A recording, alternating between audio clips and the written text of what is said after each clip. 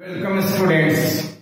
Today's topic is ledger accounting आज का हमारा टॉपिक लेजर अकाउंटिंग है under double entry system process to record systematic transactions are first of all businessmen recorded their transactions in rough book, waste book or memorandum book and then systematic accounting recorded either in the form of accounting equation or in journal or in subdivision of journal. If the transactions are recorded in journal and subdivision of journal process, the next step of accounting is ledger accounting. This is the topic of today.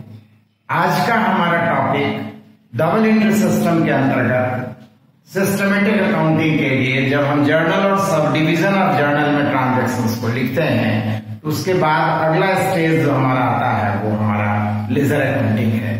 अब ledger accounting कहाँ से बनाया जाता है, ये तो clear हो गया। था फ्रॉम जर्नल और from sub division of journal sub division of journal means cash book और सब्सिडियरीज बुक्स दोनों में से किसी भी रूप में क्वेश्चन दिया जाए, हम उससे लेजर अकाउंटिंग बनाते हैं। हमेशा याद रखिएगा। क्यों बनाते हैं लेजर अकाउंटिंग तो नेचुरली जर्नल में डेट वाइज ट्रांजेक्शन को रिकॉर्ड किया जाता है। मतलब मिक्स रहता है ट्रांजेक्शन अभी कुछ लेन देन हुआ, अगले पल कुछ लेन देन हुआ। हर एक को हम date wise in order of transaction और डेट इन ट्रांजेक्शन को रिकॉर्ड करते हैं। इस कारण से जर्नल से किसी भी आइटम के वैल्यू या अमाउंट को या बैलेंस अमाउंट को जानना मुश्किल हो जाता है। स्वाभाविक तौर पर बिजनेसमैन को आगे के रिज़ल्ट को जानने के लिए हर एक नेचर ऑफ़ ट्रांजेक्शन के अनुसार से उसके वैल्यू को, उसके अमाउंट को, उसके बैलेंस को कंपलसरी जानना है। और इसी कारण से जो हमारा अकाउंटिंग बनता है, वो लेजर अकाउंटिंग कहलाता है। इसका मतलब साफ़ है to find the value of balances और अमाउंट्स ऑफ़ इंडिविजुअल ट्रांजेक्शंस और डिफरेंट नेचर ट्रांजेक्शंस विभिन्न स्वभाव या विभिन्न लेन देनों के वैल्यू को बिल्कुल अलग अलग जानने के मकसद से हम जिस अकाउंटिंग प्रोसेस में, में अकाउंटिंग बनाते हैं आगे बढ़ते हैं हम उसे लेजर अकाउंटिंग कहते हैं। निश्चित रूप से इस अकाउंटिंग में लेन देनों को लिखने के लिए इस अकाउंटिंग में लेन देनों को लिखने के लिए सबसे ज़रूरी चीज़ ये है कि एकदम अलग अलग अकाउंट बनेगा। नेचर वाइज या ट्रांजेक्शन वाइज जितने भी अलग नेचर के लेन देन है, बिल्कुल अलग अलग अकाउंट बनाए जाएँगे। सबसे इंपॉर्टेंट चीज़ है। दूसरी महत्वपूर्ण बात है कि आखिर लेजर अकाउंटिंग बनेगी कैसे? तो बनाने के लिए तीन स्टेप्स है। वन बाय वन हम सारे की जानकारी देंगे। फ़िलहाल जो रीजन है बिहाइंड लेजर अकाउंटिंग और उसका बेसिक थियोरी कंसेप्ट जो है, वो इस प्रकार से है first of all systematic accounting या transaction are recorded into journal और subdivision of Next step of systematic accounting is ledger accounting. That's why ledger accounting is important accounting. ये बिना इसके बनाए हुए हम आगे बढ़ नहीं सकते हैं इसलिए that's why ledger accounting is also known as principal accounting. इसे हम प्रिंसिपल बुक और प्रिंसिपल अकाउंटिंग के नाम से भी जानते हैं ये क्यों बनाया जाता है? तो फाइंड और टू नो द अमाउंट और balances of transactions ledger account are ledger accounts are prepared हर एक लेन देनों के अमाउंट को या बैलेंस अमाउंट को जानने के लिए हम इसे बनाते हैं। और जैसा कि अभी भी बताया यहाँ पर लेजर अकाउंट में हर एक नेचर ऑफ़ ट्रांजेक्शन के अनुसार से अलग अलग अकाउंट बनाए जाते हैं। कंपलसरी अलग अलग अकाउंट बनाए जाते हैं, जिससे कि उसके वैल्यू को मालूम किया जा सके। अब ये कैसे बनाया जाता है? तो बनाने में तीन स्टेप है। अगर आप तीनों स्टेप को कंप्लीट कर लेते हैं तो आपका लेजर अकाउंटिंग कंप्लीट हो जाता है। पहला स्टेप है उसमें परफॉर्मा या कॉलम सबसे पहले कॉलम कैसा बनेगा? परफॉर्मा लेजर अकाउंट का कैसा होगा? तो हमेशा याद रखिएगा, हर एक लेजर अकाउंट में या अकाउंटिंग प्रोसेस में आप डबल इंटर सिस्टम में पढ़ चुके हैं। निश्चित रूप से two side two places of accounting होता है that is debit and credit तो यहाँ पर जो दो साइड है अकाउंटिंग का, वो एक उसमें से एक है डेबिट और दूसरा है क्रेडिट अब जैसा कि आप जानते हैं ट्रांजेक्शन को लिखने के लिए कम से कम चार कॉलम होने चाहिए। थे यहाँ डेबिट में भी चार कॉलम बनेंगे और क्रेडिट में भी चार कॉलम बनेंगे। और उन कॉलम का नाम है डेट पार्टिकुलर्स यहाँ पर तीसरा कॉलम जो बनेगा, वो जर्नल फोलियो लेजर जर्नल में हम लेजर फोलियो लिखते थे। जर्नल में लेजर के पेज नंबर को लिखते थे। आसानी से लेजर के पेज पर पहुँचा जा सके। और लेजर में हम जर्नल के पेज नंबर को लिखते हैं, जिससे कि वापस हम जर्नल के किस पेज से ट्रांजेक्शन को यहाँ लाए हैं, आसानी से देखा जा सके।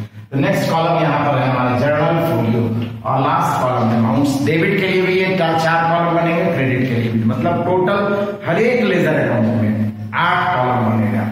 मिनिमम एट कॉलम्स नेक्स्ट है फॉर डेबिट प्रोफार्मा या कॉलम में डेबिट के लिए टू टर्म यूज़ किया जाता है स्टार्ट करने के लिए लेन को लिखने के लिए और क्रेडिट के लिए बाई टर्म यूज़ किया जाता है, जिसका एक स्पेसमेंट या नमूना हम आपके सामने में प्रोफार्मा कर दिया है। सबसे पहले तो नेम ऑफ़ अकाउंट जिस भी अकाउंट पर को का लेजर बना रहे हैं, उसके नाम को लिखेंगे जैसे कैश अकाउंट बना रहे हैं तो कैश अकाउंट का नाम लिखेंगे। कैपिटल बना रहे हैं तो फिर अलग अकाउंट बनेगा। रेंट अकाउंट बनेगा तो अलग अकाउंट फर्नीचर अलग बनेगा, बिल्डिंग अलग बनेगी परचेजेस अलग बनेगा, एकदम हर एक के लिए अलग अलग। और हर एक हर एक अकाउंट में, हर एक अकाउंट में दो साइड होंगे डेबिट और क्रेडिट का, इस तरीके से।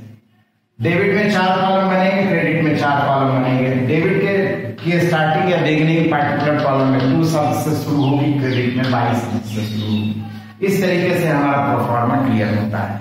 नेक्स्ट पॉइंट प्रॉब्लम का आता है how to record to record journal transaction into ledger that is called here is as posting इसको हम लिखने की प्रक्रिया को कहते हैं खतौनी पोस्टिंग पोस्टिंग कैसे होगा, कैसे लिखेंगे?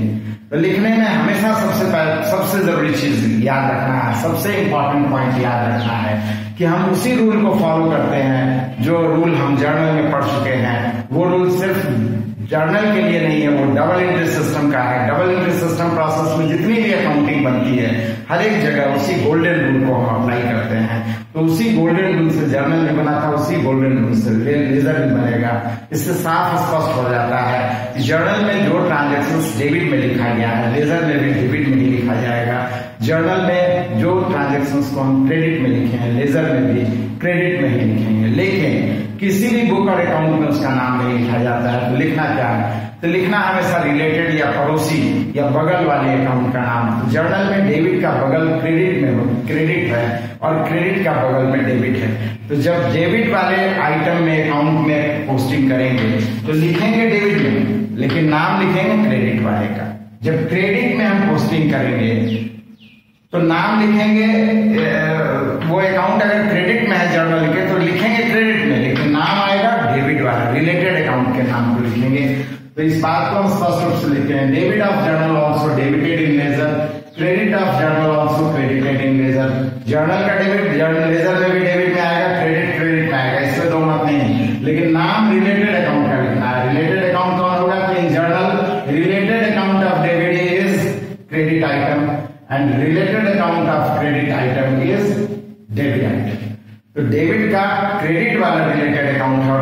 credit का डेबिट वाला। बगल वाला अमाउंट किसका लिखेंगे ये तो सामान्य ज्ञान की बात है।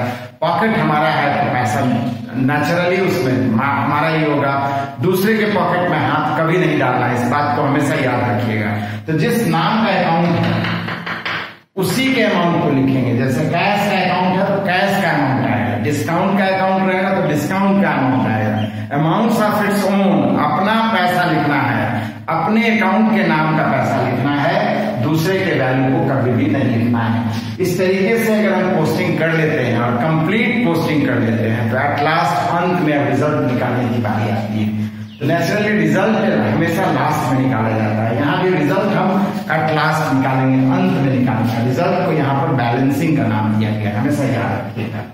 तो रिज़ल्ट कब निकाला जाता है? बैलेंसिंग कब की जाती है? आफ्टर कंप्लीट पोस्टिंग और at the end of ledger posting ledger accounting के बिल्कुल अंत में लेजर पोस्टिंग कंप्लीट लिख लेने के बाद तब हम बैलेंसिंग का काम करते हैं रिज़ल्ट निकालने का काम करते हैं। रिज़ल्ट कैसे निकालते हैं? तो ऑलरेडी आप कैश बुक पढ़ चुके हैं। वहाँ पर रिज़ल्ट निकालने के प्रोसेस को देख चुके हैं। यहाँ पर भी दो साइड है डेबिट और क्रेडिट तो नेचुरली जिस साइड में कम होगा हम उस साइड में last date of the month को बैलेंस सीडी के नाम से लिखेंगे। In ledger in ledger side on closing date of the month balance C किस अमाउंट से लिखेंगे? द डिफरेंस अमाउंट से। तो जिस साइड में भी कमी है, मान लीजिए क्रेडिट में कमी है तो कमी को अमाउंट को लिखेंगे बैलेंस सीडी लास्ट डेट में और लास्ट में फिर उसके बाद फिर टोटलिंग कर देंगे और टोटलिंग करने के बाद नेक्स्ट लाइन नेक्स्ट डेट मतलब टोटलिंग मंथ के एंड में हुआ है, या बैलेंस शीट मंथ के एंड में हुआ है तो नेक्स्ट मंथ फ़र्स्ट डेट को अपोजिट साइड में। डेबिट में हुआ है तो क्रेडिट में, और क्रेडिट में हुआ है तो फिर डेबिट में अपोजिट साइड में। बैलेंस बीडी के नाम से उसी डिफरेंस अमाउंट्स को लिखेंगे। इस बात को हमेशा याद रखिएगा।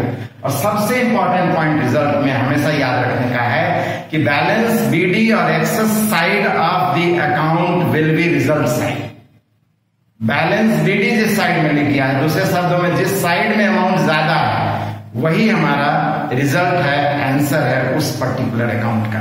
जैसे मान लीजिए कैश का डेबिट में लास्ट में बैलेंस बीडी आया टोटलिंग के बाद, इसका मतलब कैश का डेबिट बैलेंस है, उसी अमाउंट से बैलेंस कहलाएगा। ये बहुत इंपॉर्टेंट बात है, ये हमेशा याद रखना है। इस प्रकार से लेजर अकाउंटिंग बनाने की पूरी प्रक्रिया कंप्लीट हो जाती है। चाहे क्वेश्चन हमारा जर्नल दे करके लेजर बनाने के लिए बोले, या क्वेश्चन में सब डिवीज़न ऑफ़ जर्नल मतलब cash book purchase book sales book इत्यादि दे करके लेजर अकाउंट बनाने के लिए बोले। हर तरह से इन कंसेप्ट या नियमों को, परिस्थिति को समझने के बाद लेजर अकाउंटिंग बनाने में हमें कोई दिक्कत नहीं आनी चाहिए। फिर भी हम अगले वीडियो में आपके सामने में इन व्यवहारिक पहलू को, इन प्रैक्टिकल एस्पेक्ट्स को प्रैक्टिकल क्वेश्चन लेकर के और उसको सॉल्व करके दिखलाएँगे नेक्स्ट वीडियो हमारा लेजर अकाउंटिंग पार्ट टू होगा, जिसमें कि लेजर अकाउंट प्रिपरेशन का प्रैक्टिकल नॉलेज हम आपके सामने में प्रेजेंट करेंगे। हमें उम्मीद है आपको हमारा वीडियो पसंद आ रहा है। आप हमारे वीडियो को लाइक कीजिए शेयर कीजिए सब्सक्राइब कीजिए। Thank you